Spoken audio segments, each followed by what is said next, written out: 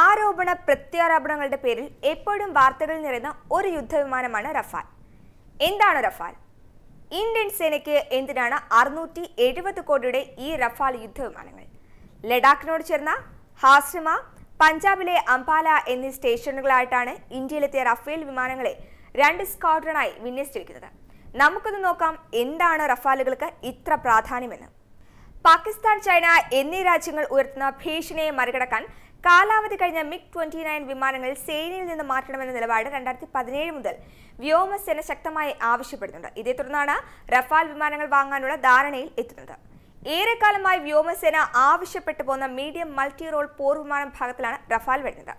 ഫ്രാൻസിലെ ഡസോൾട്ട് കമ്പനിയാണ് റഫാൽ വികസിപ്പിക്കുന്നത്.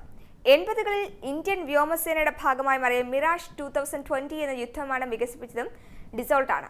ഇന്ത്യയുടെ ആണവ പോർമുനകളെ ഘടിപ്പിച്ച മിസൈലുകൾ മിറാഷാണ് വഹിക്കുന്നത്. ആയിരത്തി തൊള്ളായിരത്തി തൊണ്ണൂറ്റി ഒൻപതിലെ കാർഗിൽ യുദ്ധത്തിൽ ഇന്ത്യയുടെ ആക്രമണങ്ങളുടെ കുന്തമുനയായിരുന്നു മിറാഷ്.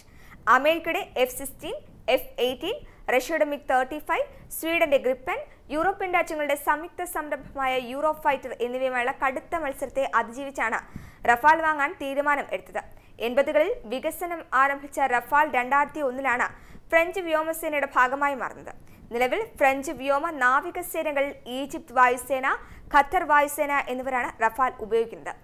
രണ്ടായിരത്തി പതിനെട്ട് ജൂലൈ വരെയുള്ള കണക്കുകൾ പ്രകാരം നൂറ്റി അറുപത്തി അഞ്ച് വിമാനങ്ങൾ നിർമ്മിച്ചിട്ടുണ്ട്.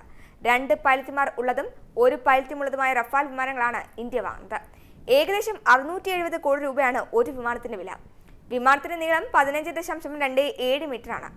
റഫാലിന്റെ വേഗം മണിക്കൂറിൽ ആയിരത്തി തൊള്ളായിരത്തി പന്ത്രണ്ട് കിലോമീറ്റർ ആണ് ഒറ്റ പറക്കലിൽ മൂവായിരത്തി എഴുന്നൂറ് കിലോമീറ്റർ പരിധിവരെ പറക്കാൻ കഴിയുന്ന വിമാനത്തിൽ മൂന്ന് ഡ്രോപ്പ് ടാങ്കുകളുണ്ട്. ത്രിതലശേഷിയുള്ള യുദ്ധവിമാനമാണ് Rafale. Air to air air to ground air to surface ആക്രമണശേഷിയുള്ളതുകൂടിയാണ് ഈ റഫാൽ. മിക്ക ആധുനിക ആയുധങ്ങളും റഫാലിൽ ഘടിപ്പിക്കാനാകും.